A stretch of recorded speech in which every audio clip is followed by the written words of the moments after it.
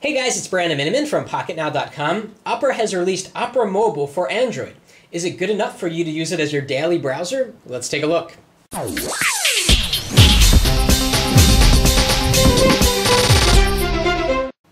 Now, Opera has had Opera Mini for Android for a while now, but Opera Mobile is the fully fledged browser from Opera that includes some of the features of Opera Mini plus it adds a lot more that really makes the experience better. So let's take a look at Opera Mobile for Android. Now, Windows Mobile users know Opera Mobile very well. It's been around on Windows Mobile since the days of the HTC Touch Diamond. Uh, it was a fantastic browser. It had great tab management. In later versions, we got the speed dial, and now it's on Android. So let's talk about how this interface is. So of course we have the speed dial, which is an awesome tool. It comes sort of from Google Chrome, where you can put your favorite websites here. So right when you launch the browser, you can jump into the sites that you want to see. So if we press plus on one of these, it shows us our recent history.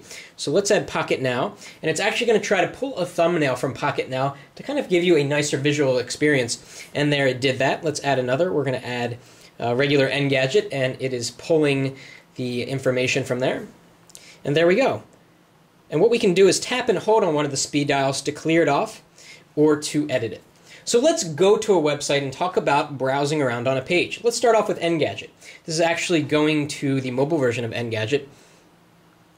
I should mention that I have Opera Turbo turned on right now, which is uses uses server-side rendering.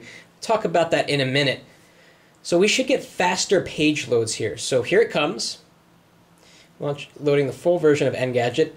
Not super fast, but it's coming along quite nicely. We can browse the page while it's loading. And, and scrolling is pretty darn fast. We're getting a little bit of checkerboards, but in all fairness, the site hasn't finished loading yet. So it's coming up now. Let's move around on the page quickly. We do get a little bit of blank spots. The scrolling is fast once everything is cached and, and rendered. Uh, but in that first scroll, you get a little bit of checkerboards. We can also pinch to zoom here, uh, which works quite smoothly. We can zoom out.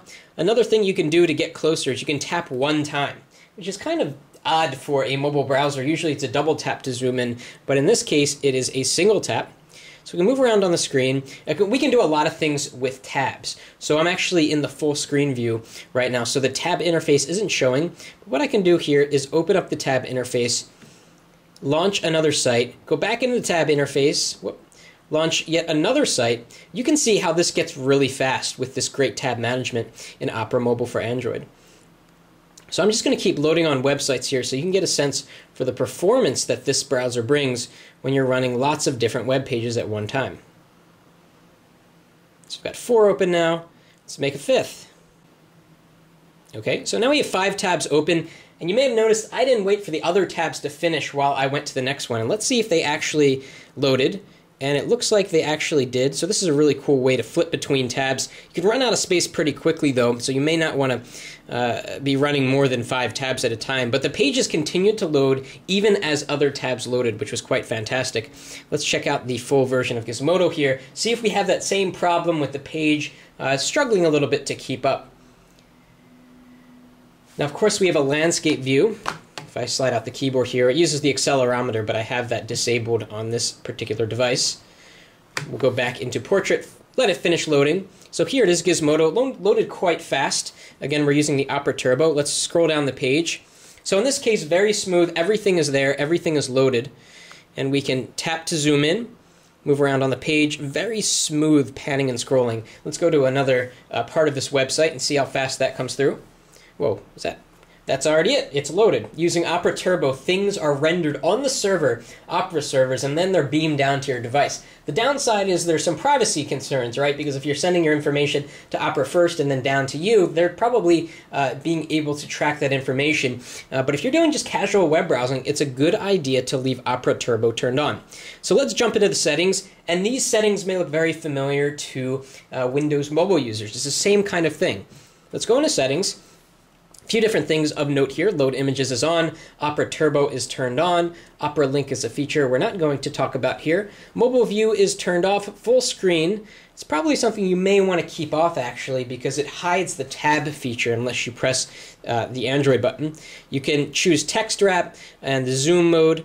And so now we have the non-full screen mode. So all the time we have access to these handy shortcuts and we can move between them. Although it's it's not the kind of interface where you can sort of swipe your finger and go to another one. It doesn't really work like that. It's more like tapping on another one so that the others move out of the way. And let's see how this handles a website like miniclips.com. It's actually a flash site that lets you play some uh, some games. So let's check that out.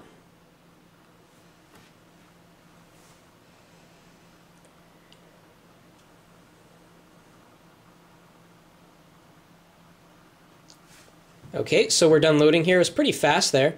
So let's see what happens when you press play now. You probably know what's going to happen here. And you probably could have guessed what would happen. Nothing happened because it doesn't support Flash content here uh, in Opera Opera Mobile. But of course, you can use a stock Android browser with the Adobe Flash 10.1 plugin if you want to get some Flash content on your Android 2.2 device. So overall, a really fast browser that is plenty good enough for you to use as your daily driver if you're looking for an alternative to the stock Android browser. It has great tab management, it is Opera Turbo to give you a little bit of a boost, especially when you're over a slower connection, and it has this really nice start page, just a really nice interface that people from Windows Mobile World may remember. Very, very highly recommended browser if you're looking for uh, another kind of browsing experience. Please thumbs up this video and check out PocketNow.com for more smartphone news and reviews. Thanks for watching, and that's it for now.